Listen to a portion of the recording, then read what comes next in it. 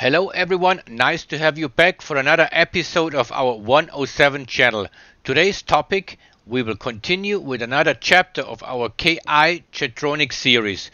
Today we'll measure the fuel pressure at the upper and the lower chamber of the flow divider. We will get an overview over the fuel system starting at the pumps, checking on the working pressure, target pressure and why there is a difference between them, as well as how long in minutes the holding pressure has to be provided. For example, for how long can the fuel pressure be maintained after switching off the engine and at what pressure. In a previous video some time ago we were checking the fuel pressure between pump 1 and pump 2 to see which pump is not working. Related to this video we were measuring in another chapter of this KE series the fuel pressure which ends up at the intake port of the upper chamber of the fuel divider.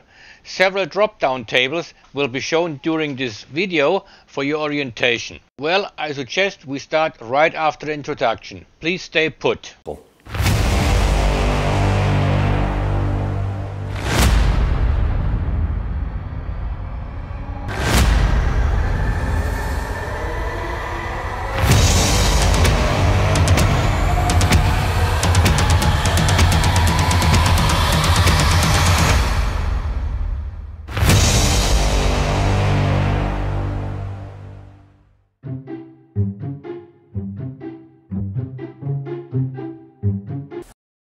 Back again, here we are, here at the lower chamber of the fuel divider, a pressure gauge was connected to the test port and at the intake port of the upper chamber we connected a pressure gauge at the port of the cold start valve. Let us fire up the engine to see the difference of those two measurements.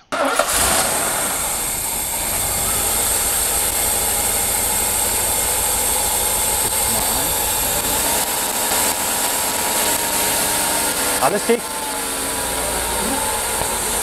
6,2 Oberkammer. I have switched off the engine a half an hour ago. We still have a 3.2 bar pressure in the upper chamber. According to the Benz manual, we need 3.0 bar, which we do have in this very case. So we have checked the different pressures in the lower chamber in comparison to the upper chamber of the fuel divider. We have checked it while the engine was running, immediately after it was shut off and 30 minutes later to check how much pressure is being maintained after a half an hour. The gauge for the upper chamber was connected to the port of the cold start valve. In the lower chamber the pressure gauge was bolted in a provided test port we saw that the lower chamber has a 0.5 bar less pressure in comparison to the upper chamber.